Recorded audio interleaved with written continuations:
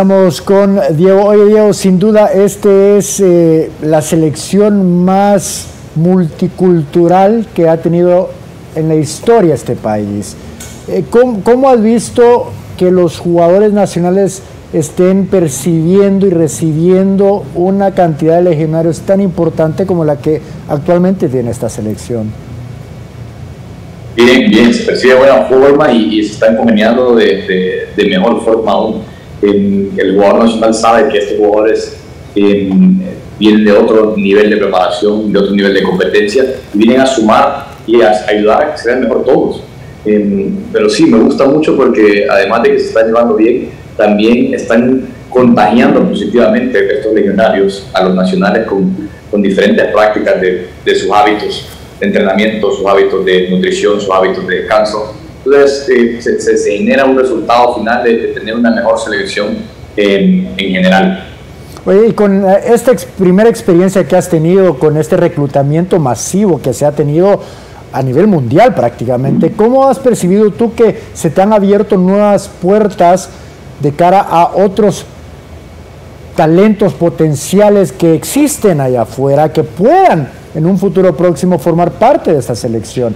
¿Ha habido más recepción hacia esto? Sí, y, de, de, ambas vías, te digo. De, cuando hablo, te digo, por ejemplo, ahorita con el nuevo club de Enrico, el FC Eindhoven, eh, me comunico con ellos para poder tener a Enrico eh, y siempre en mis correos, tanto a ellos como a los clubes americanos, les digo que en la llamada me gustaría poder platicar y explorar oportunidades que puedan recibir a prueba o entrenamientos jugadores eh, o seleccionados jóvenes nuestros, como tratando de abrir esa puerta para que no solo sean los jugadores que nosotros vamos a traer eh, de Norteamérica, de, de, Europa, en algunos, pero que también los que vayan sobresaliendo nacionales puedan irse abriendo puertas y puedan irse y saliendo a este tipo de oportunidades, sea USL, sea MLS, o por qué no empezar a, a, tocar puertas en, en, Europa, sea en primera o en segunda división de, de algunos países. Diego, muy buenas noches. Eh, lo importante que es empezar ganando en este, en este torneo, en esta octagonal. ¿Cómo están los jugadores emocionalmente para recibir este partido? Se juega en casa con un equipo muy difícil, campeón de CONCACAF. Y casa llena, seguramente. Y casa llena. un gusto. Eh, creo que hay muchas formas de verlo, ¿no? Definitivamente que cualquier competencia hexagonal, octagonal, como, como sea que le queramos llamar, ganar el, el primer partido va a significar empezar con el pie derecho tener mucha confianza para lo que pueda venir.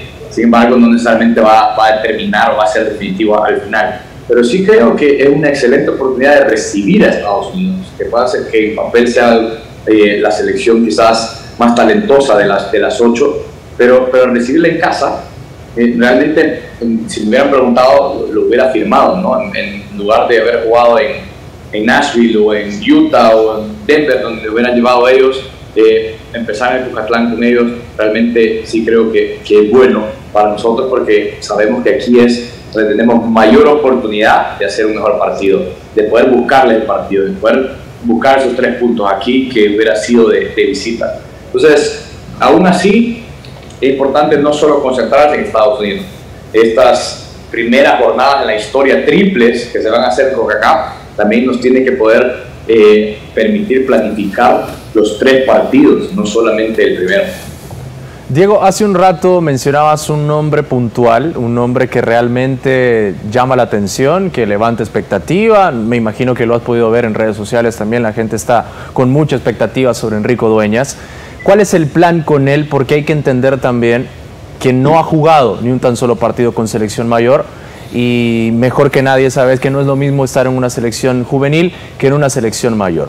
¿Cómo están trabajando con él también para que logre manejar, no sé si presión, pero sí esa expectativa que tiene la gente sobre él, porque todos esperan que sea una figura de esta selección nacional, ¿no? Mira, manejándolo realmente igual que lo hemos manejado con todos. en su momento se habló de los sub-23 con las islas, que bueno, a ver cómo les va. Bueno, en las islas era algo accesible, ¿no? Pero después, bueno, Copa de Oro, eh, ¿cómo le va a ir a, bueno, vemos en pantalla a Mario, a Ronald, a, a, Josh, que, que, no han jugado en selección mayor, no han jugado este tipo de exigencias. bueno, ya, ya lo vieron jugar, ¿no? Eh, pudieron rendir bien, están preparados y Enrico no es la excepción. Eh, Enrico viene formado en, Europa, ya demostró en sub-23 de lo que puede ser capaz con los otros compañeros y los otros compañeros de él también ya demostraron que son capaces de, poder competir eh, a nivel mayor. Yo creo que em, a veces aquí no hemos tenido quizás la costumbre de ver eh, jugadores jóvenes debutar en selección mayor o en partidos importantes, pero esto em, alrededor del mundo es, es normal, ¿no? Es, normal que jugadores de 18, 20, 22, 23 años puedan competir eh, a nivel de selección mayor a un buen nivel. Y como te dije, sea Enrico, sea Ronald, sea Mario González, estos jugadores están preparados. Oye, Diego, no, no quiero que me malinterpretes la pregunta, pero eh, ¿cuánto del foco sobre esta octagonal está dirigida hacia el 2026?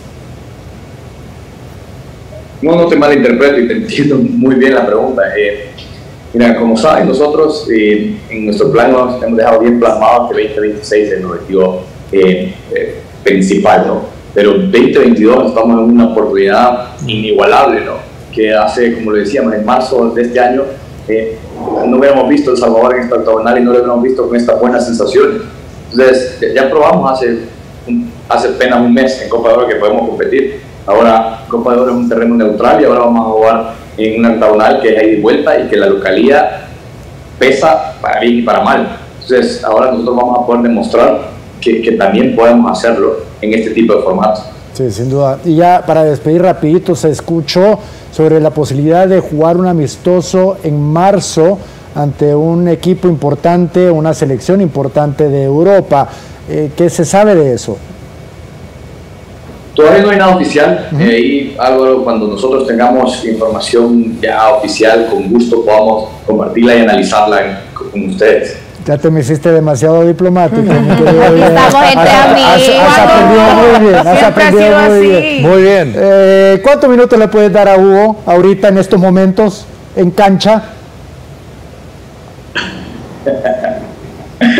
Solo se ríe.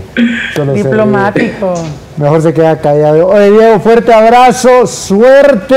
Eh, vamos a estar ahí muy pendientes de todo lo que ocurra y con tu permiso platicamos en los próximos días. Con gusto, con gusto. Un abrazo a todos y gracias.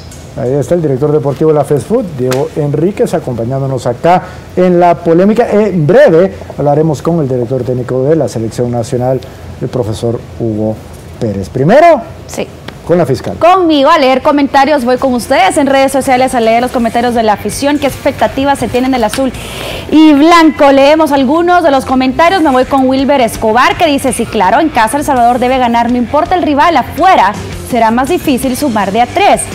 Choc dice que sea competitivo y que haga el mejor papel posible, ya que partimos de ser el número 8 hacia arriba. Bendiciones a todos en el set. Franco Cruz Seré sincero, dice, antes de Copa Oro yo era uno de esos que se les llama mala leche, pero al ver jugar a la selecta como lo hizo, mi perspectiva cambió y ahora espero con las ansias la octagonal. Ojalá no nos decepcionen y alguien por aquí también se ríe porque hay muchos como tú, Franco,